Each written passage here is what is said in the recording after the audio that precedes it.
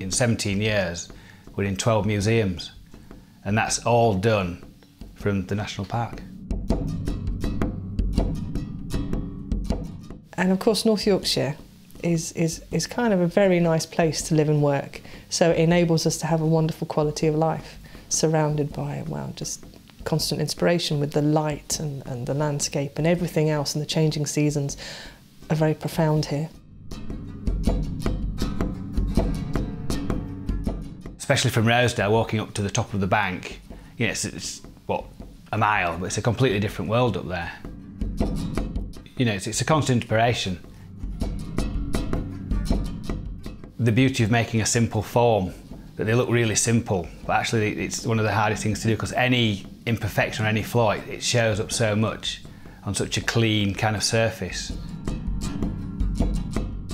watching Glassburn, it's like watching a performance, really, because it's two people, it's very hot, and the slightest kind of lack of concentration, and you're, you know, you're making it again, and that's that's one of the beauties of why I do glass, because I, I like that kind of that once you've started, you have to finish. You can't stop and have a cup of tea or go and do something else.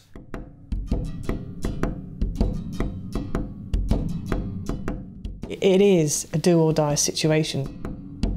You can cut the atmosphere in there with a knife.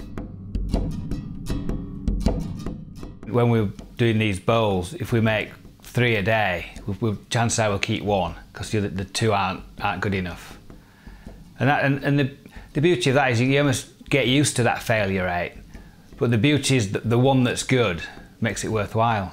And, that, and that's why they're going to go to the museums and, and to kind of private collections.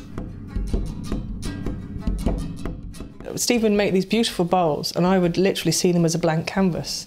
I'm used to working on a two-dimensional surface with paint and canvas, but here suddenly you, you had a three-dimensional form, which was a blank canvas, and he would he would add the colours, and then it was the reverse of the way I'm used to working. I would plan to remove the colours and reveal the layers in in each piece.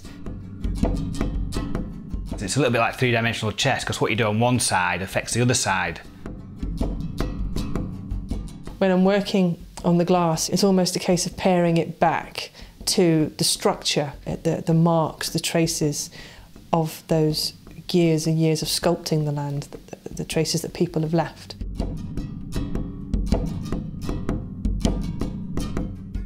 I suppose the best thing, and it's like it's like your Christmas day, is actually taking the tape off to reveal what's what's underneath, and then it's either oh, oh yes, you know. if they somehow convey a small sense of this particular landscape, then I'll be very happy.